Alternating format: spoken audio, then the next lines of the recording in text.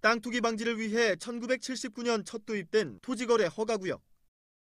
허가구역으로 묶이면 지정된 용도 외에 다른 용도로 토지를 사용할 수 없으며 매매할 경우 해당 시군구청장의 허가를 받아야 합니다. 지난 24일 국토교통부는 전국의 토지거래 허가구역 616제곱킬로미터를 해제했습니다. 4일 부동산 대책의 후속 조치로 주택에 이어 토지까지 거래 규제를 풀어 부동산 시장을 활성화하겠다는 취지입니다. 해제 면적은 서울이 118제곱킬로미터, 경기도가 238제곱킬로미터로 절반 이상이 수도권입니다. 서울은 강북구와 강동구, 양천구, 중구, 동대문구를 제외한 20개 자치구에 해제 구역이 선정됐습니다. 김포공항 인근 그린벨트가 포함된 강서구가 가장 많은 부분 해제됐고 노원구와 은평구가 뒤를 이었습니다. 보금자리 주택과 위례 신도시가 개발되고 있는 강남, 서초, 송파구도 해제 구역에 포함됐습니다. 지역 개발이 마무리돼 투기 우려가 적은 지역입니다. 전문가들은 이번 조치로 주택과 함께 토지 거래에도 숨통이 트일 것으로 내다보고 있습니다. 어느 정도의 시중 부동 자금이 유입될 수 있는 그런 기반이 마련되었다고 볼 수가 있습니다.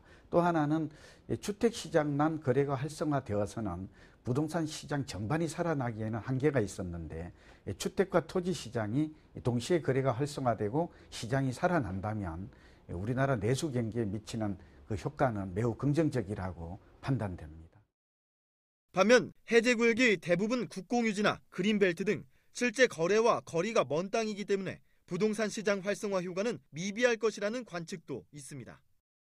이번에 풀린 지역들이 어, 그린벨트 지역이라든지 한강 둔치가 많기 때문에 단기적으로 어, 규제를 푼다고 해서 토지 시장의 거래량이 폭증하거나 가격이 상승하기는 힘들 것으로 보여지고요.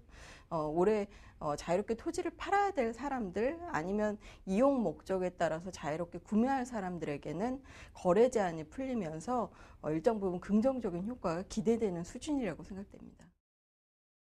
정부는 토지 시장 동향을 지속적으로 살피는 한편 해제 구역에 대한 투기와 난개발을 사전에 차단하겠다는 방침입니다.